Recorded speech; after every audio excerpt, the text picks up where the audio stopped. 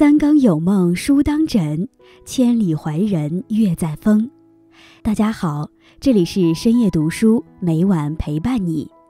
为了可以更好的与大家互动，现在深夜读书已经在 Facebook 开设了粉丝专业，大家可以按照图片指示去添加一下。如果有什么生活上的困苦和不觉的地方，欢迎给我们留言，让我们一起在阅读中。变得更好。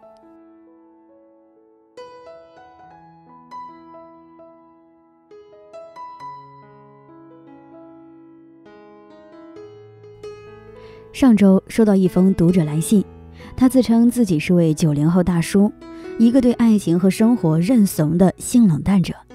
在信里面，他简单讲述了这两年自己的心理变化。随着年纪的长大，他发觉自己活得越来越怂。对生活没了要求，一日三餐温饱就好，出去旅游不打卡不拍照，简单的吹风看景就好。对爱情呢，也没有抱着很大的憧憬和奢望，保持着一切随缘的态度。看着他的来信，我明白他的困惑。仔细看看身边的朋友，确实有很多和他类似的契合点。很多成年人的怂，基本上都是从佛系的性冷淡开始。并且，不论是他们的感情还是生活，都已逐渐成为了现代社会的常态。对于感情，并非不想付出，只是害怕失望。对于成年人的怂，最明显的就是表现在感情上的性冷淡了。在网上有一个很有趣的词汇，读起来很佛系，“老路蹒跚”。简而言之，九零后对于感情就像是老了的路一样，走路随意蹒跚。这个成语是不是感觉很形象、很生动、真实？在我身边就有这样一个朋友，完美的验证了这个成语。他九一年，一位还没有结婚的老叔叔，在他部门里，谁都看得出来，他对另一个部门的女同事很感兴趣，在平常的动作和神态里透露着暧昧的气息。那个女生呢，对他大抵也是有好感的，每次出去吃饭，有意无意的都往他身边靠。看着两人磨磨蹭蹭，停滞不前，办公室里的同事都替他着急，而他却满不在乎地说：“随缘吧，感情这个事情来了就顺其自然，不能太过强求。”同事都对他说：“怎么越长大越怂了呢？”他也是淡定回答道：“哪个成年人对感情不怂呢？”是啊，我很赞同，大多数成年人的怂都是从感情世界里变得性冷淡开始。不光他一个人这样，随着年纪越大，越来越多的人越来越崇尚爱情的顺其自然。遇到怦然心动的人，不是少女怀春般的小鹿乱撞的欣喜，而是如临大敌般的慌乱，逐渐失去了年少时的心动和冲动。有的是来了就来了，不来也罢的冷淡，甚至有很多人害怕心动，抗拒心动。这样的我们，对感情认怂，抗拒动心。表现出极强的性冷淡，随着成年，会开始变怂，开始抗拒，会开始变得不敢轻易相爱，不敢轻易表白。这并非是因为不想为这份感情付出，而是因为经历了太多的遗憾和失去，而害怕最后的结局会失望。所以，与其随意的开始，凌乱的结束，不如随缘等待，宁缺毋滥。对于生活，不社交，不讨好。用平常心对待，一个人越长大越怂，越来越性冷淡，这一点在生活里也是可以窥见一二。在娱乐圈里，对生活活得最性冷淡的，莫过于朴树。自从抑郁症好了后，低调的朴树选择重新出道。从低谷爬起来的他，对于生活有了不一样的认识和想法，变得越来越怂，越来越觉得平凡才是唯一的答案。二零一六年，他上《跨界歌王》时，唱完一首歌，主持人问他为什么要来当驻唱嘉宾，他很认真地回答道：“因为筹拍新专辑 MV 确实很需要钱。”他的话引来台下观众的大笑。纯粹、真实、干净、性冷淡，这就是朴树。二零一八年，在参加《乐队的夏天》录最后一期节目时，他很用心地唱了一首《No Fear in My Heart》。句句戳心，感人肺腑。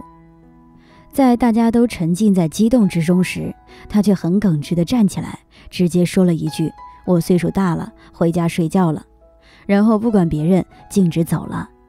私底下的朴树也是一个很真、很性冷淡的人，充满着佛系风，不喜社交，不喜复杂。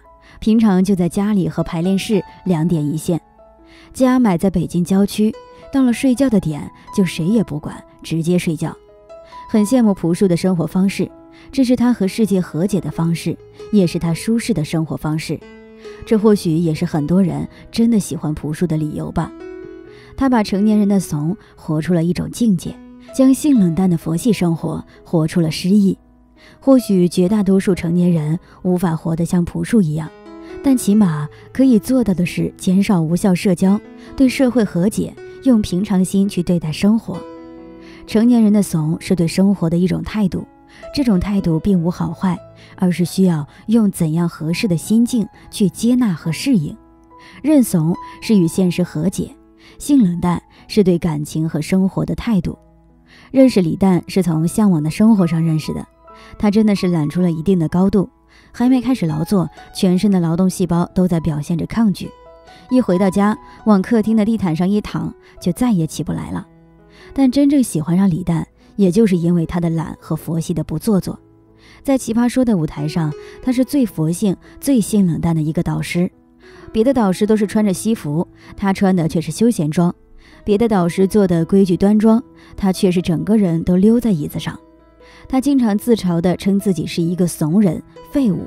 不管是对于辩论还是带队，他都是保持着乐观和随性的佛系态度。李诞确实是一个与现实和解的怂人，他从来也不掩饰自己的怂。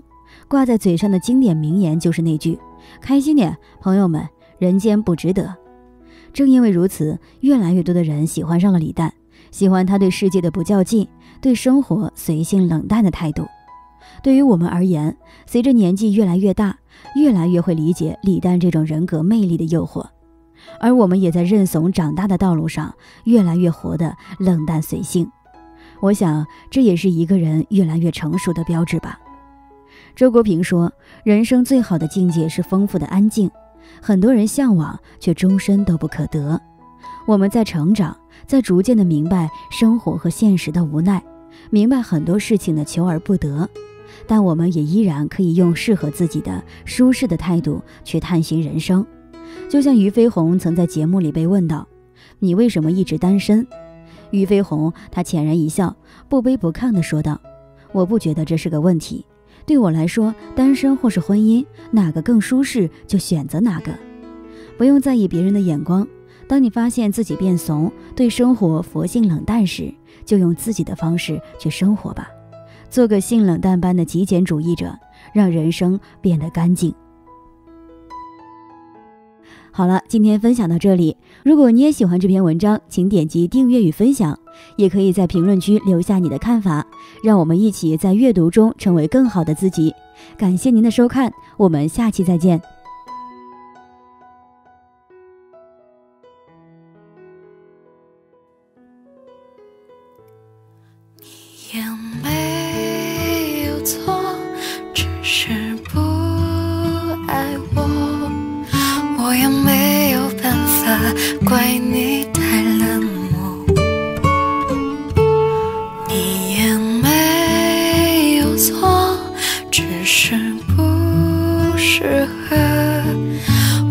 只要承认这样的结果。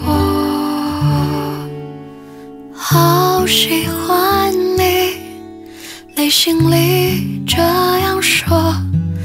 不愉快的，就算告一段落。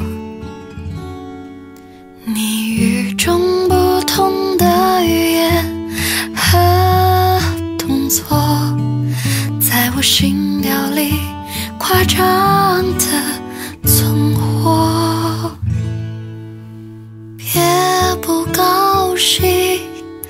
对自己这样说。很多遗憾，只盼一个结果。